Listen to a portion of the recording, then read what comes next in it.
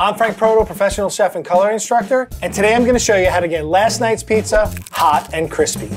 This is how to reheat pizza 101. Even though I do enjoy a cold slice of pizza once in a while, the dough gets tough, the cheese congeals, so I'm gonna show you a handful of methods to bring that crust back to crisp and that cheese back to melty. One of the most common methods is the microwave. Using a microwave is not my favorite method to reheat pizza, but it gets the job done. I've heard a trick that if you put a glass of water in the microwave with the pizza, it steams it and makes the cheese really melty. It's hot, it's sizzly, the cheese looks like it's melted, but at the end of the day, it feels a little rubbery and flappy to me. It's definitely hot, but it is not crisp. There's some moisture on the plate. That moisture I feel like has made this kind of mushy and floppy. Just to see if there's a difference, I'm gonna take another slice and microwave it without the water in the microwave. It looks a little bit better. Looks like the cheese got a little caramelized. The cheese definitely got overcooked and got a little chewy. On Frank's pizza scale, I give it a one out of five. I do not have an air fryer at home, but I've heard it's a great way to reheat pizza. This is literally the first time I'm ever using one, so we're gonna see how it does. If you line the basket with foil, it's easier cleanup. Air fryers are like mini convection ovens. They blow hot air around the product, crisping it from all sides. Pepperoni's crispy. Crust has some crisp to it. I like that. It is a little floppy still, so it doesn't feel like the bottom crust is crispy, but the top crust definitely got crispy and the cheese looks like it got melty. Not bad, not bad at all. I'm gonna give this a three out of five on the Frank pizza scale. Good job, air fryer, good job.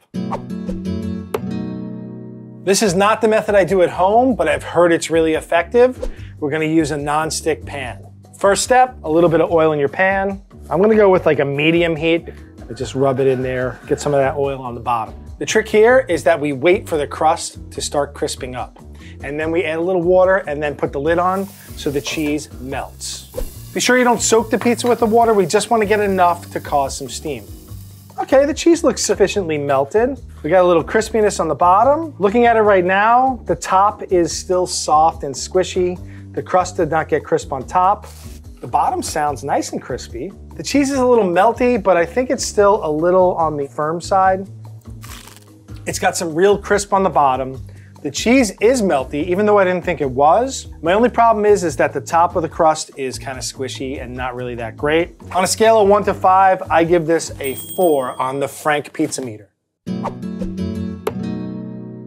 Now this next method is a little ambitious. You're gonna need the right tools and a little bit of time. The next method is using a cast iron skillet. The key to getting your pizza crispy on the bottom and melty on top with a cast iron is to preheat the oven and preheat your pan in that oven. Once you put your pizza in the pan, it starts the crisping right away.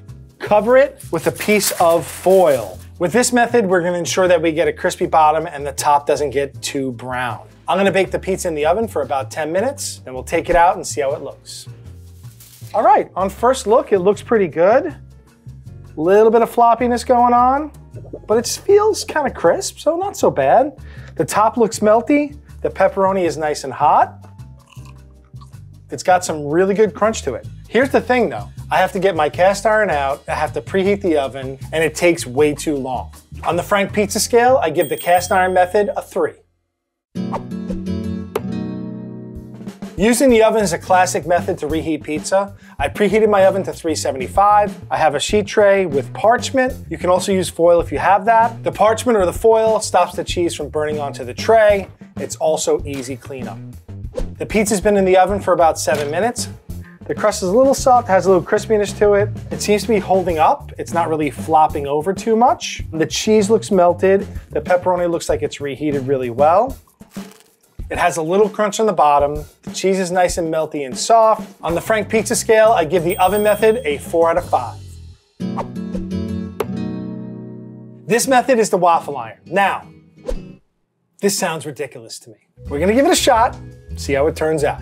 I'm gonna do two slices, and based on my research, they said to put a little oil on the base in our preheated waffle iron. We're gonna put these two together like a sandwich so that they don't burn onto the waffle iron. The pizza's been in the waffle iron for about seven minutes, and if you look, you can see some sizzling. Let's see what we got here. definitely crispy on both sides. Let's open it up and look. We got a little cheese pull there. That ain't bad. No syrup, no sausage. I'm giving it a bite. It's got some good rigidity there. The cheese is melty. The crust is crispy. I don't think that's bad at all.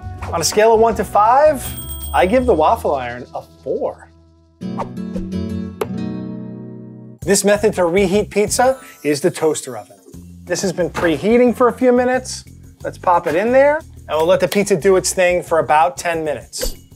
All right, I'm gonna tell you, I'm looking at this and I'm already happy. The crust has some crispiness to it, and that's what's exciting me. Based on the look of this, I think I know what the rating's gonna be, but we're gonna wait till I taste it to give it the true results.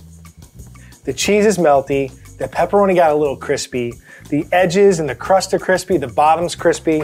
This is definitely a five out of five on the Frank pizza scale. We went through a lot of methods of reheating pizza today. There were some that were good, there were some that were bad, but at the end of the day, you still have hot pizza, and that ain't half bad.